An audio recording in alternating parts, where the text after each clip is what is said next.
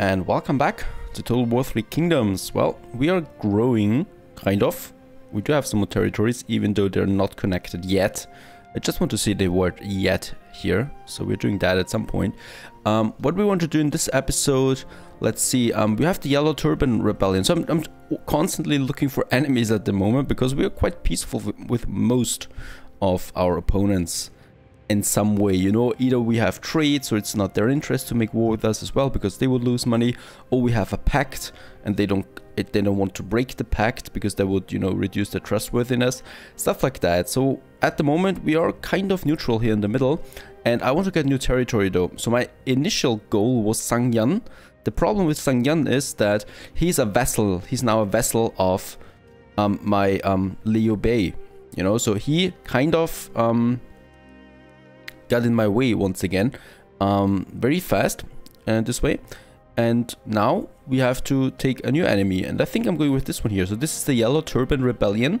It's when you look at the map it's this territory here that, that one here and that one here. And this one here above up there in the north has an iron mine on it. There it is an iron mine. So I want to take that and for that reason, I've got my army already here. So next turn, it'll be able to get into this territory there. And hopefully we can take the Iron Mine there. Okay, I've got two armies there actually. One here and one here. So first of all, I'm just scouting in and, and looking how strong he really is. And that's it. And then we can see if we can take it. We do have a trebuchet, so they're very powerful in sieges. Um, and that might be an option then. That's the first thing. The second thing that we want to do is our diplomacy once again. So I found the quick deal. You know, that is something I found very late now. The quick deal allows me to see who would like what right away. So I click on non-aggression pact. And now I can see already who actually wants the non-aggression pact with me and who would maybe like to have one. So if we take, for example, yes here, her, down there, far away from me and we can say negotiate peace. Then I can see oh this is really good. Like she actually really wants that. So I can get some more out of that. Request a regular payment for example. And in this case here that's quite high. It's 144 you know that's 144 coins for 10 turns. Um where I actually didn't do anything. I didn't need to do anything because they're so far away. Um we got here Liu He up here. Now that is closer Liu He has many allies, so it's not wise to, to fight against him. So yeah, let's say we could do that. He actually desperately wants one, as it seems. So, and once again, we can see if he's got any items here. So he's got a dignified raiment, not so good, and that's it. So we could get some more money out of that. Request a payment, and then we can just say, how much payment actually? How much do you want to pay? You have got lots of money, old man. You can you can take it. Very nice. 130 uh, 83 just out of that. So do you see that? I mean that is amazing that I haven't seen that yet. And we have Tao Ying here. Big one, big player. Uh, was a former coalition member, I think. Let's see. Um he actually really wants one. He's plus 10 with that because I've got a good army and I've got this moderate threat level there still. So that really helps. So let's get some regular payment out of that. He's not that rich though, so he will not pay that much, right? Oh, he's going to pay a lot.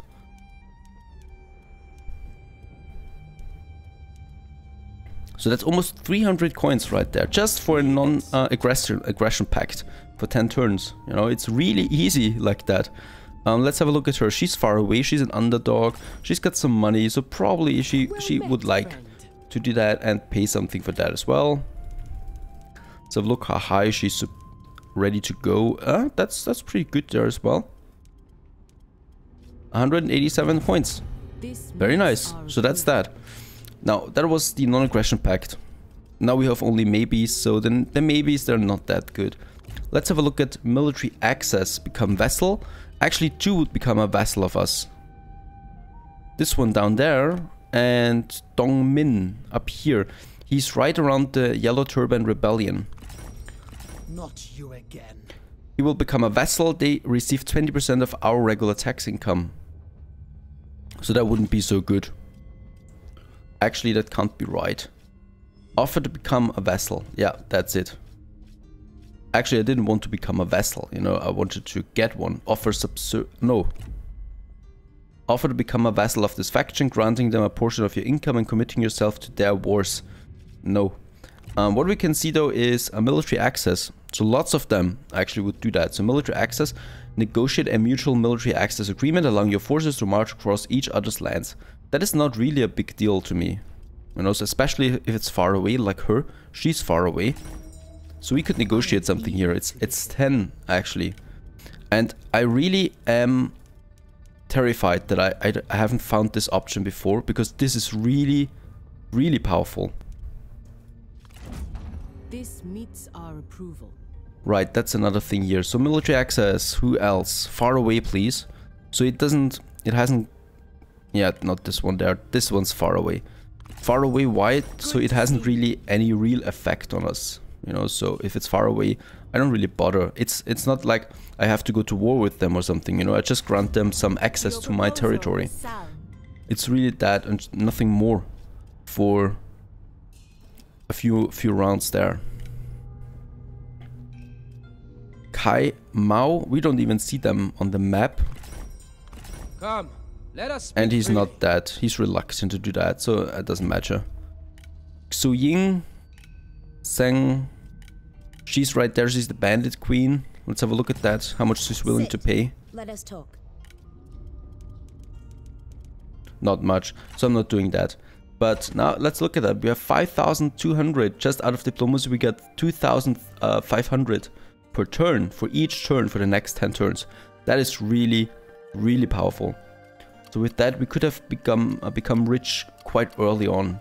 I, I have to remember this in the next uh, playthrough then.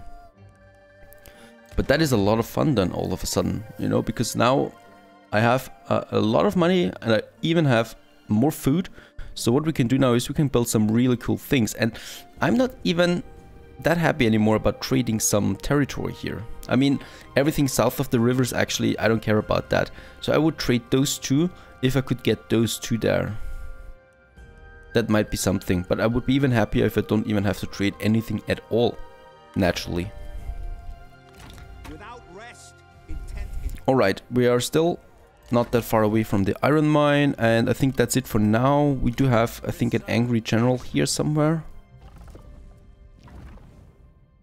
Or someone that actually leveled up? No. No, it seems actually to be good here. Not that I need anything there. And there, Beihai actually has nothing to do right now. Let's see what we can do here. We could build a magistrate, 15% income from all sources, 10 prestige. Hmm. The public school gives a bit more public order, and we are down with the public order at the moment. So yeah, let's get a public academy there. That's also some more population growth there. So that we have that. Right, that's it. That was a lot of diplomacy. Let's see what happens in this round. So one of my armies goes up there, as I told him.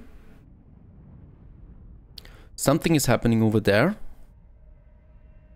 A new owner, as it seems to me.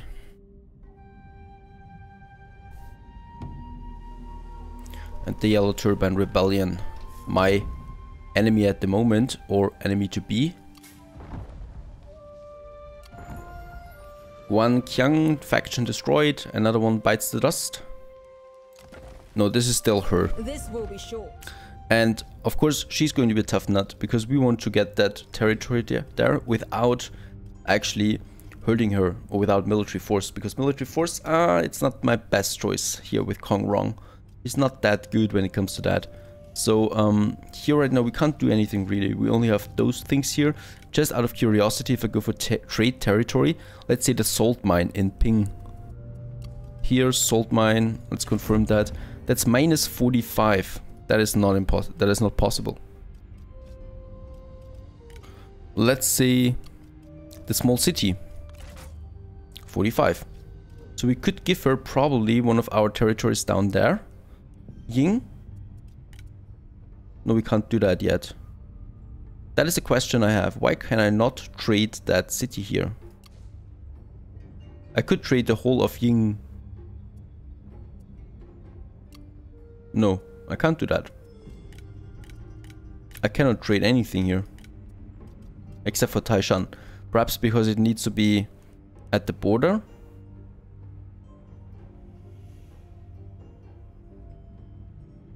Well, I don't know. I can't trade those things there. But it's it's really impossible. So it's minus 45. How much would I have to pay in money? Make a payment.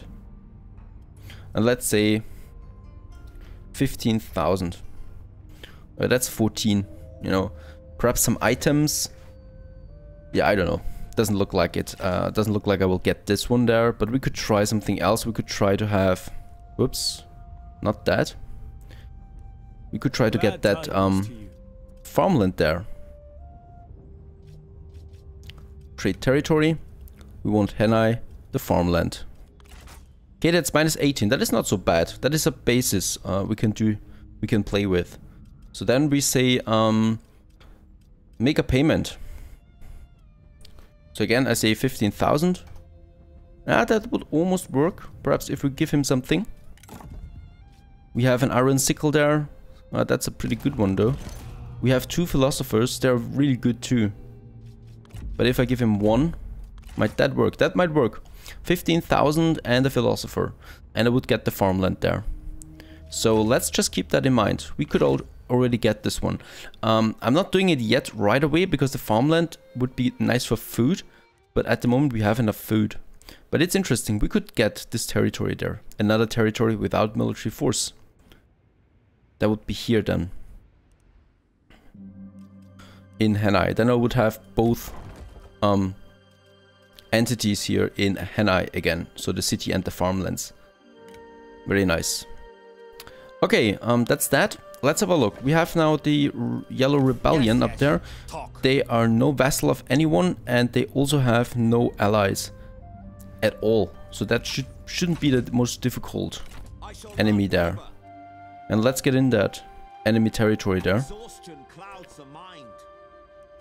And there he is. There is his force. So he's got some forces there. Okay, so that's not going to be so easy. But it doesn't look like it's the strongest forces there. I still have my other force coming there from behind. Some reinforcement. Very nice. So I've got my two uh, troops there. And I hope no one's faster than me. Like he, Liu Bei, he always takes my takes my territories from me. Or from me. Or takes them in front of me the ones that I wanted to, to get. So we got here, um, this one here, the Iron Mine, the other one would be the small city here, but that is a bit far away in those mountains here. But yeah, this is this could be working. Your army is trespassing. Yeah, of course. Um, what we also need to do is we need to have a formal declaration of war. A waste of time and that's war. We didn't have any um, treaties, so that's perfectly fine. So we are at war now, and that should be working. Hopefully he tries to get out of there before we arrive, because then I would have two armies against him. Right, there's nothing else here. Some assignments, okay, and one of my spies has been promoted to a general over there, Lian Si. Okay, so there's, there's, that's her, right? Is that my general? Let's have a look. We do have him again, so they have a, a quite a nice um, spy network there now. So we could get um, deny military supplies, infiltrate the army, leak marching orders, falsify marching orders. What's there? Empower trade, manipulate the faction's trade efforts, thereby increasing your own trade power. Let's try that. The effect of the uh, of the weather on crop yields, territory patterns of banditry and current successes of merchant routes all influence trade. One of our spies has mastered the art of studying and predicting these effects, enabling them to exploit faction markets and increasing our own trade power. So it seems that has worked.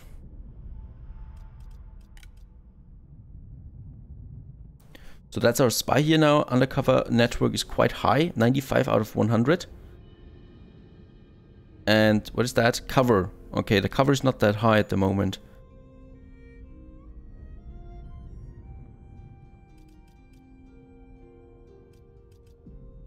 Right, because the more I do, the more uh, cover costs, of cover points I actually lose. Okay, so let's... Oh, we have a second spy. Wait a second. We still have him there as well. Um, let's see. He's more for the military things. The military? Let's build an undercover network with him as well. Very nice. That um, enables more options. Okay, our two spies are doing their stuff here against her. Lian Si, boy, she is really powerful up there in the north.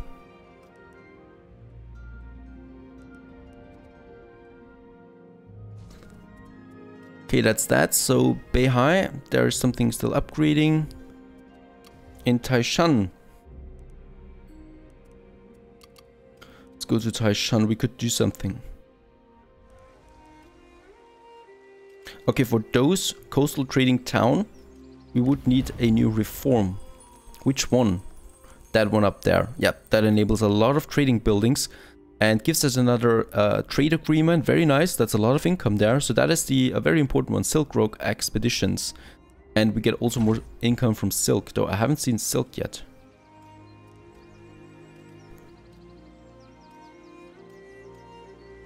Okay, but we could upgrade um, Taishan to a large city. That would give us a more population there.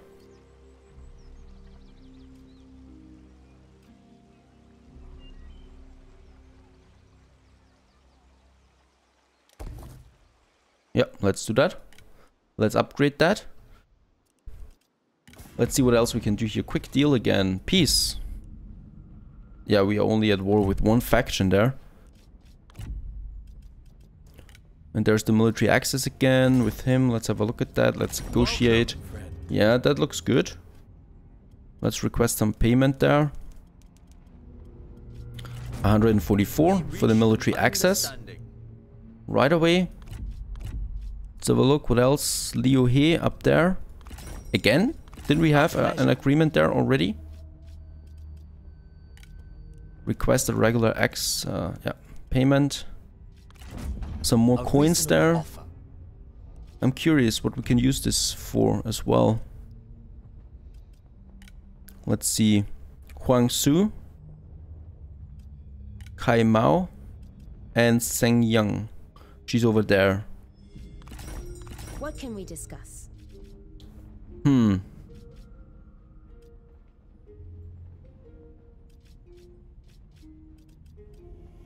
Yeah, let's just request payment there. From the Bandit Queen. That's okay. So we um, also increase our reputation again at one point. That's that. Military access. Him again. And that one up there. What shall we That's only today? two, so th- I don't care about that, but he wanted to do something there. A middle ground can be reached. Okay, that's it. But there were some interesting deals again. We are pretty high there on the income side right there. We could afford another big army, so we could have three armies then. But um, each army um, reduces my uh, trade influence, you know, because I'm a trader. So I want to get this monopoly up there to reach the next level. Um, so I need to be careful of what armies or how many armies I actually want to use. And Ying Xuan would like an upgrade too. Let's have a look there. Order is high is is rising again. That's good to see. It was pretty low. We have one building here, the public school. We could also increase it to a um, city. Let's do that. Costs us a bit though. Right. Let's end this turn. Nothing else that we can do there.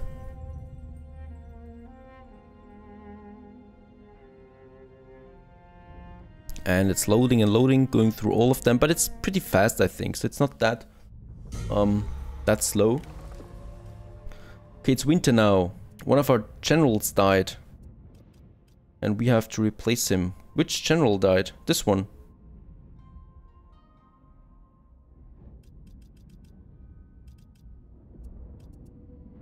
No.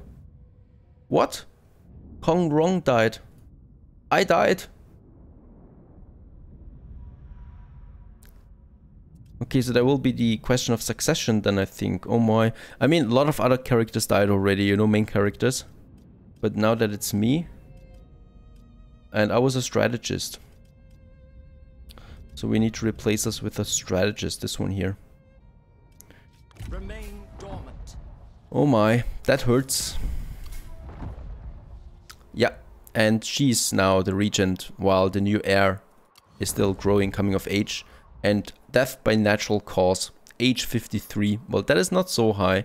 Kong Rong, regardless of whether they achieved great things in their time or frittered away their years on trivialities, they were fortunate to have been granted a full lifetime to do with as they wished. Order will spread throughout. And naturally, all my generals are kind of pissed now. So we need to promote some of them, get some of their loyalty with that. That was a bit expensive now. So it's us now. We're doing that. Going for marquise, duchess and that. And where's my heir? If I look at the court now. Oh, okay. So we are Conque. We are still um, only three years old. That's understandable then. So we're ruling as her at the moment.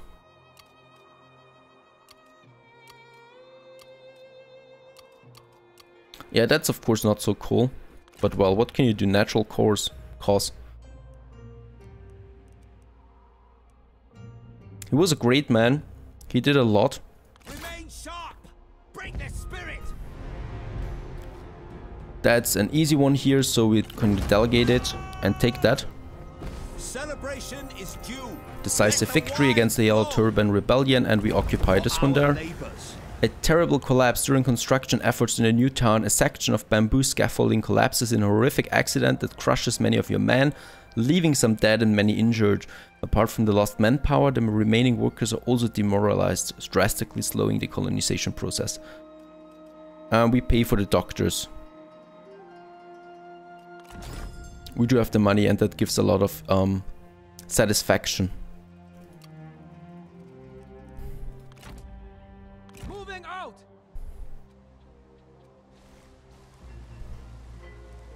Summon the merchants.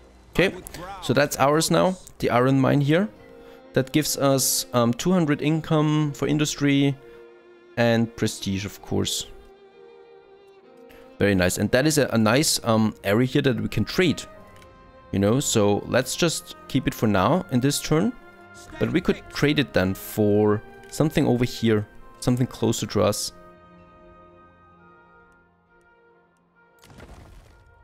Welcome, friend.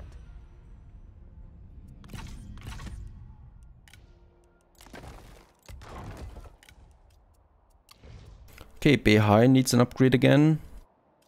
We could go for the large city there, increase the population, but also the food consumption, which we have plenty of anyway. Yeah, let's uh, increase it to a large city, though that pushes it quite down there. And we also have another administrator that we can um, assign to, to one of those. So Taishan needs an administrator, someone with uh, commerce, ideally. Um, mm -hmm. Ah, yeah, 40% income from commerce, silk and spice, 1k population and public order. Perfect, you're the perfect man for that. Let's do that. New administrator, appointed. And we also have received some more items here, some good items actually, some good weapons. Double sword and a concubine. Gives us satisfaction. That's good to know. Good to use against some of us, our enemies then. Okay, this has been quite a successful episode again. Um, we died, but our successor or our wife has taken over the regent now, while our son is coming of age. Conque, he's already... What age is he actually? Can we click on him? We can't do that. It doesn't seem to be existing at all. There he is. Age 9. Okay, so that's still some time there before we can do that. Conquer the air. That's good. That's also good because a new marriage comes up them again at some point. And marriage is always very nice and fancy for some new territories and stuff like that. Stay tuned.